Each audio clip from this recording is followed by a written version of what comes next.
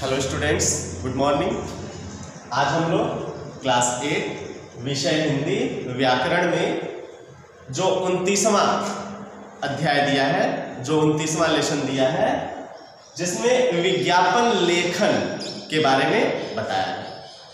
तो आज का जो हमारा टॉपिक है, आज का जो हमारा प्रकरण है, वो है विज्ञापन लेखन। आज के वीडियो में हम लोग विज्ञापन विज्ञापन है क्या? विज्ञापन का उद्देश्य क्या है? और विज्ञापन बनाते समय हमें किन किन बातों का ध्यान रखना चाहिए? इसके बारे में जानेंगे। तो विज्ञापन शब्द, वी और ज्ञापन के संयोग से बना है। विज्ञापन शब्द, वी और ज्ञापन के संयोग से बना है। वी उपसर्ग का अर्थ है, जो वी उपसर्ग लगा है विज्ञापन शब्द में, उसका क्या अर्थ है? उसका अर्थ है विशेष। तथा ज्ञापन शब्द का अर्थ क्या है? ज्ञापन शब्द का अर्थ है सूचना अथवा जानकारी देना। ठीक है? विज्ञापन शब्द वी और ज्ञापन के संयोग से बना है। वी उपसर्ग उपसर्ग का क्या अर्थ है? वी उपसर्ग का अर्थ है विशेष, और ज्ञापन का अर्थ क्या है? ज्ञापन का अर्थ है सूचना अथवा जानकारी देना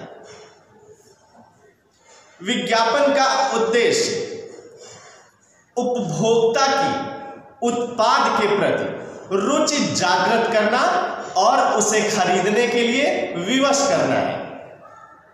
विज्ञापन का उद्देश्य उपभोक्ता की उत्पाद के प्रति रुचि जागृत करना तथा उसे खरीदने के लिए विवश करना है। इससे उत्पादनकर्ता लाभान्वित होता है। ठीक है? इससे उत्पादनकर्ता लाभान्वित होता है और वस्तु की बिक्री में वृद्धि होती है। ठीक है?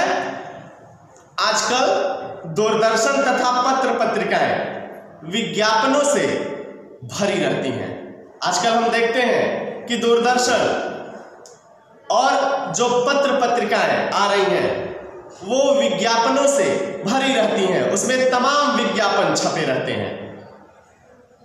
विज्ञापन के माध्यम से ग्राहक वस्तु के गुणों एवं लाभों से परिचित होता है। यानी विज्ञापन के माध्यम से जो ग्राहक होते हैं, वो वस्तु के गुणों और लाभ से क्या होता है?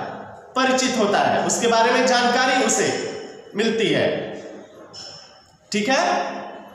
तो विज्ञापन बनाते समय हमें किन किन बातों का ध्यान रखना चाहिए?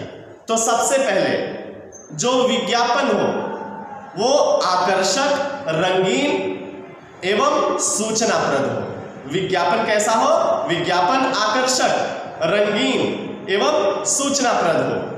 दूसरा, विज्ञापित वस्तु का नाम।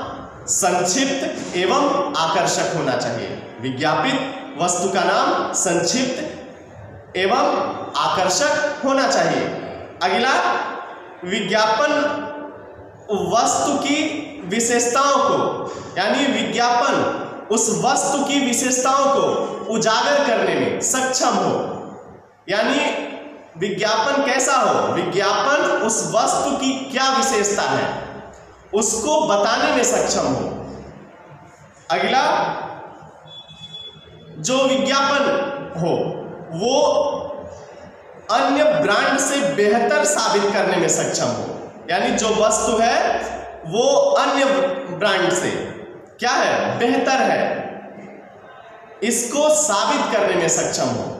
तो जो विज्ञापन हो, वो कैसा हो? विज्ञापन अन्य ब्रांड से बेहतर साबित करने में सक्षम हो। और एक और बात का हमें ध्यान देना चाहिए कि तुकबंदी वाली पंक्तियों का प्रयोग भी संभव है।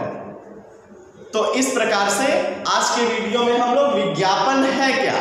विज्ञापन का उद्देश्य क्या है? और विज्ञापन बनाते समय किन किन बातों का ध्यान रखना चाहिए, इसके बारे में जाने। आज के वीडियो में बस इतना ही। धन्यवाद।